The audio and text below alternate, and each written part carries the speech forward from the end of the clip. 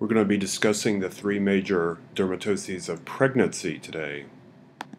It's interesting that uh, despite the fact we're specialists in obstetrics and gynecology, uh, very often we seem to know very little about skin. We seem to relegate that to the world of the dermatologist. But in fact, uh, there are several conditions that are unique to pregnancy, and it's up to us uh, to be familiar with these conditions uh, because uh, clearly we're going to continue to encounter them as long as we're taking care of reproductive age women. This slide here serves just to make the point that there's been a, a recent reclassification of dermatologic conditions affecting pregnancy. And, and so you'll see, uh, for example, that the old name herpes gestationis has now been reclassified as pemphigoid gestationis. And this is actually a positive reclassification. It gets, word, gets rid of the word herpes, which has nothing to do with this condition and which has bad negative connotations. So um, herpes gestationis becomes pemphigoid gestationis. Uh, in a similar fashion, what we used to refer to as pruritic urticarial papules and plaques of pregnancy, or PUP, is now known as the polymorphic eruption of pregnancy. So PUP becomes PEP. And then lastly, a, a, a large collection of a fairly wide variety of conditions, um, prurigo of pregnancy, papular dermatitis of pregnancy. These are all being uh, classified under the heading of atopic eruption of pregnancy. There is a fourth uh, group, uh, intrahepatic cholestasis of pregnancy, but because uh, cholestasis of pregnancy typically does not have a dermatologic finding, I'm not going to discuss that today. We'll talk about that on at another time. Now, pemphigoid gestationis is rare. It's estimated to occur in about 1 in 50,000 uh, pregnancies. I've seen about two cases in my entire uh, lifetime, so very rare. It presents fairly late in pregnancy, sixth or seventh month, but it does have a range of presentation from nine weeks up to postpartum. Uh, it frequently recurs in subsequent pregnancies. So if you're seeing a patient with it, it's very likely she may get it again. And if she gets it again, it might come earlier and the symptoms might be more severe. So that's a, a common finding with pemphigoid gestationis. It has been described with estrogen exposure uh, outside of pregnancy. So uh, birth control pills, for example, have been um, cited as a cause. Now, the appearance of pemphigoid gestationis uh, is characterized by these uh, wide, large, expanding plaques, but the hallmark clearly are these vesiculobullous lesions. This is where the name pemphigoid comes from. Uh, so, fluid filled um, uh, skin lesions surrounded by these wide um, erythematous plaques. So the blistering appearance can sometimes be quite dramatic. Um, so it's characterized by these intensely itchy eruptions of red papules, plaques, and vesiculobullous lesions. It often starts periumbilical, and this is a clue to the diagnosis. So it starts around the, the uh, umbilicus and spreads to the trunk and extremities. It does not involve the face, it does not involve mucous membranes. It occurs most commonly in the second and third trimester. Um, rare that it will present postpartum, but postpartum flares are incredibly common, and so typically patients will be uh, treated with a burst of steroids postpartum to prevent a flare. Skin biopsies in this con condition are incredibly helpful because they are positive for immunofluorescence staining for complement and immunoglobulin around, along the basement membrane. This is classic for this condition, and so uh, skin biopsies are incredibly helpful um, to uh, cinch the diagnosis. Since it's antibody mediated, there commonly can be a newborn rash, which um, affects about 5% of newborns lasts for one to two weeks and then goes away. Doesn't really need to be treated, and there's no clear association with an increase in perinatal morbidity or mortality. Now, pemphigoid gestationis has been linked to other autoimmune diseases. This makes sense. So things like Graves' disease, vitiligo can uh, co-occur with this condition. Treatment is usually very straightforward. You can try topical steroids, but they're usually ineffective. And so quickly you move to oral steroids. Prednisone usually in the range of 20 to 80 milligrams uh, a day. so you usually start with a fairly high dose, increase the dose until you have symptoms under control, and then titrate down to the lowest effective, effective dose and, and you can give burst steroids to treat flare-ups. Typically, you'll continue treatment for 8 to 10 weeks postpartum and then um, gradually uh, taper them off the steroids. So again, these vesiculobullous lesions are the classic hallmark of this condition. Um, some of the early eruptions can look herpetic, and this is where that name herpes gestationis came from, but there's no viral mediation here. This is autoimmune. And in some cases, it can be completely widespread and uh, debilitating to the patient. Here's a, a representation on gross specimen of the um, bullous lesion and then the immunofluorescent staining for complement along the basement membrane zone.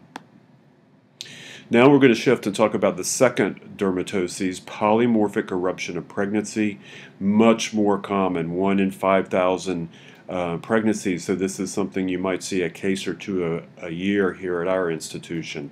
76% of these cases present in primogravid patients. Uh, although it's generally considered to be non-recurrent, up to a fourth of patients uh, can get this in um, a um, in a subsequent pregnancy. It's almost exclusive to the third trimester, so it's very late presenting, and that's very helpful in making the diagnosis. So the history of presentation here is very uh, essential to uh, making this diagnosis. Um, usually it shows up around the 36th week, and a 39th week presentation is the most common. It also tends to start periumbilical and then spreads um, out to the uh, abdomen, trunk and extremities. And it um, is also classic for exhibiting something known as the Koebner phenomenon. This is where a rash or lesions appear in an area of stress or trauma.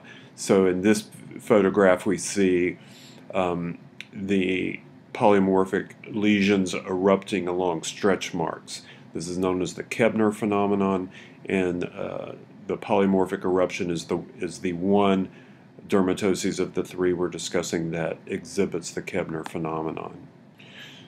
So again, uh, lesions and stretch marks, uh, starting periumbilical, moving to the uh, trunk and extremities.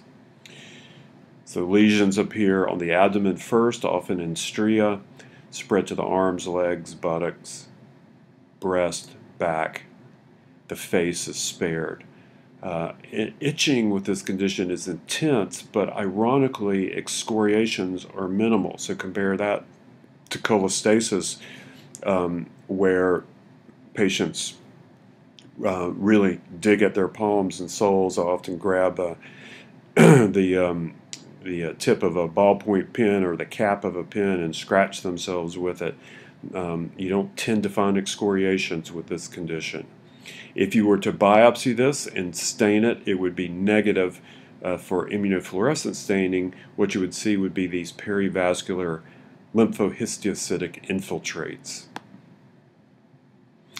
Uh, newborns are typically unaffected. Uh, there is no increase in perinatal M&M. Treatment uh, can begin with topical steroids. For topical steroid failures, you move to oral prednisone. You can give a steroid dose pack or you can give low dose continuous steroids, whichever are needed.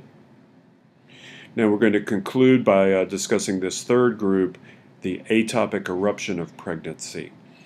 So I like to think of anything that kind of looks like um, eczema or is very itchy and isn't included in the uh, first two conditions and it's associated with pregnancy, then think of atopic eruption of pregnancy.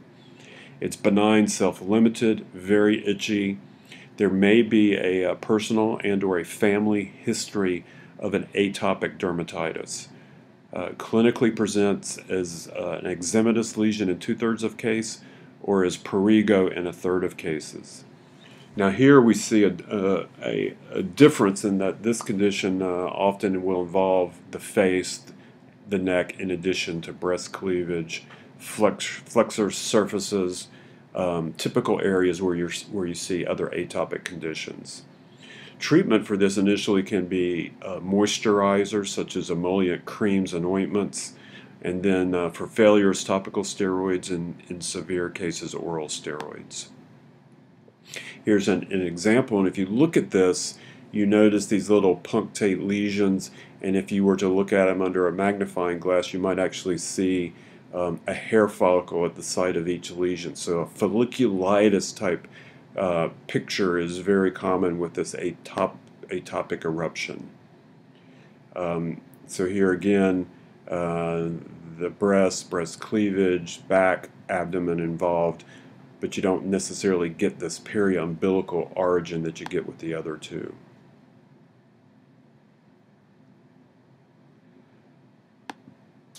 Now here's a, a summary that shows some of the um, characteristics that can help distinguish between these three conditions. Um, so if it's showing up in a primiparous patient, then think the polymorphic eruption, where 73% of these involve primiparous patients. If you the patient tells you I had this identical condition in my last pregnancy, then think atopic um, dermatitis. If it shows up um, extremely early, like especially if it's in the first trimester, then think um, atopic eruption of pregnancy. So although the range of, of, of presentation can be wide for all three of these, um, the atopic uh, dermatitis is the one that shows up the earliest. And then lastly, abdominal involvement. Uh, these are characteristic of both uh, pemphigoid gestationis and the polymorphic eruption of pregnancy, but not so much of the atopic eruption. So that's it. Just remember we'll be seeing skin on all of our patients and we should become familiar with these uh, dermatologic conditions uh, that are unique to pregnancy. Uh, and so I hope you found this review uh, helpful.